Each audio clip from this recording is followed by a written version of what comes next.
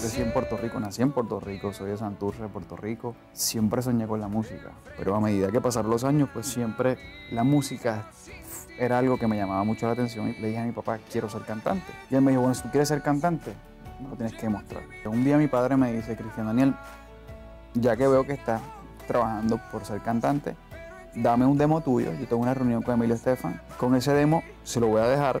Si él me dice que no cantas, olvídate de ese sueño y dedícate a otra cosa. La cosa es que cuando mi padre le llevó el demo a Emilio Estefan, lo menos que se imaginaba era que Emilio Estefan le iba a decir, quiero ver a tu hijo. Cuando le escuchas la primera vez no te lo crees, como que ah, ya no va a sonar más.